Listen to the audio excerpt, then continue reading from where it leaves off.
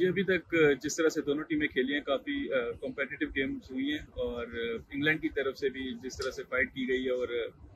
Obviously जिस तरह से लास्ट मैच हुआ है लास्ट बॉल तक मैच गया है और काफ़ी अच्छा एक तो फैंस के लिए भी और अपनी कंडीशंस में, अपने फैंस के सामने होम ग्राउंड पे इस तरह की performances I think it's very good for for us and for Pakistan cricket I think जिस तरह से उधर मैचेस हुए हैं, वही सेम एक्सपेक्टेशंस इधर भी हैं, और मे भी थोड़ी सी कंडीशंस डिफरेंट हों पिच का बिहेवियर थोड़ा सा डिफरेंट हो बट आई थिंक वही एक्सपेक्ट कर रहे हैं, जैसे उधर आखिरी गेम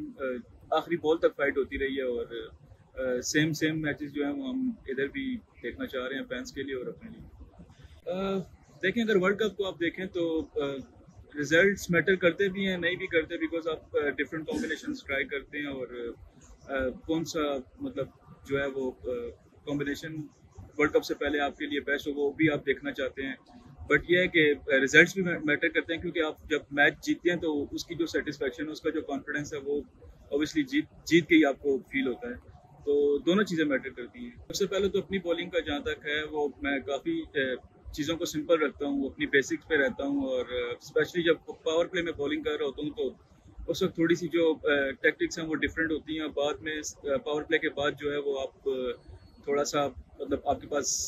ऑप्शंस होती हैं कि आप, क्योंकि फ़ील्ड खुल जाती है तो आप थोड़ी सी एक दो चीज़ें ट्राई कर सकते हैं जो कि आप पावर प्ले पे नहीं कर सकते। तो इन्हीं चीज़ों को साथ लेके चलता हूँ कोशिश करता हूँ कि राइट टाइम पे राइट डिसीज़न दूँ और बैट्समैन को देखता रहता हूँ सिचुएशन को देखता रहता हूँ रीड करता रहता हूँ कि क्या सिचुएशन इस वक्त डिमांड कर रही है और क्या बॉलिंग इस वक्त चाहिए। और जहाँ तक बॉलिंग यूनिट का है आई थिंक जैसे लास्ट मैच आपने देखा होगा कि कितना फाइट किया बॉलिंग यूनिट ने और आई थिंक 167 डिफेंड करना और जिस तरह से सारे बॉलर्स ने एफर्ट की I think credit goes to everyone England versus Pakistan UK से PK book your tickets now